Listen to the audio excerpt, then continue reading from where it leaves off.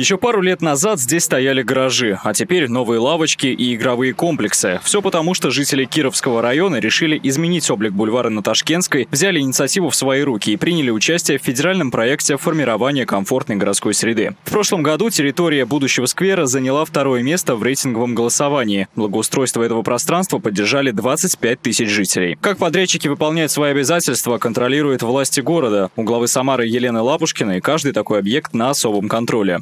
А сейчас это общественная территория города, очень востребованная территория. Здесь новый детский садик у нас совсем недалеко. Здесь недалеко школа, здесь, ну, вы видите, какой массив домов, больница Середаевна, поэтому, конечно, хотелось навести красоту и здесь, и, к счастью, люди проголосовали, поэтому вот потихонечку прихорашивается.